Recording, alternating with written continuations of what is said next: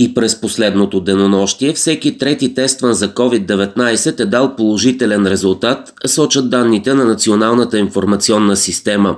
От направените общо 2151 PCR теста, 675 са били положителни. В Шуменско са установени трима новозаразени.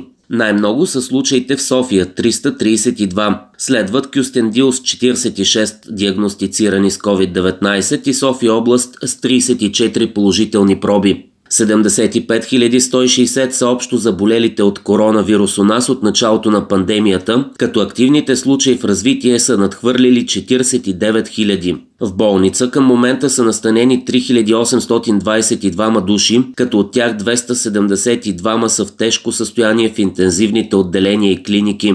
През денонощието са оздравели 603, 33 души са починали. Броят на заразените медицински служители у нас от началото на пандемията надхвърля 3000, сочи още справка в Националната информационна система.